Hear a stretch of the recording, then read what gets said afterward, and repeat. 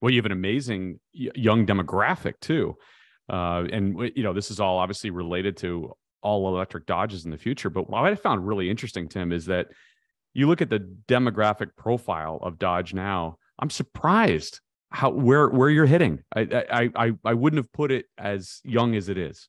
Yeah, that's uh, it's interesting. Nobody ever, everybody, if if you're not in this industry, you say who buys a Dodge, you always think it's uh, an older male buyer, right? right. oh, muscle right. car. muscle car. Yeah. And, and, and when you tell people you have the youngest demographic in the industry and the highest percentage of millennials in the industry, people are like, ah, can't be. And then and then you break it down even further and you go, oh, and the one that's driving it the most is the four door Charger. But but if you step back and think about it, I mean,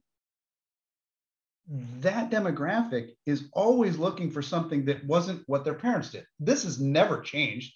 Every generation looks back at their previous generation says, no, I'm going to do something different. I'm going to be my own person.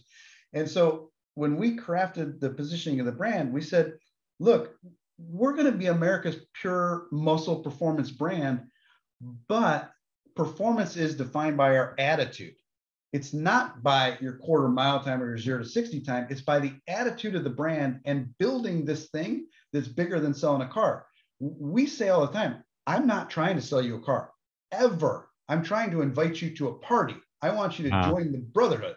Hmm. And it doesn't matter if you're buying a Pentastar or a five seven Hemi or a six four or a six two or a red eye or a demon or whatever. You're part of this group of 13 million people that love this brand.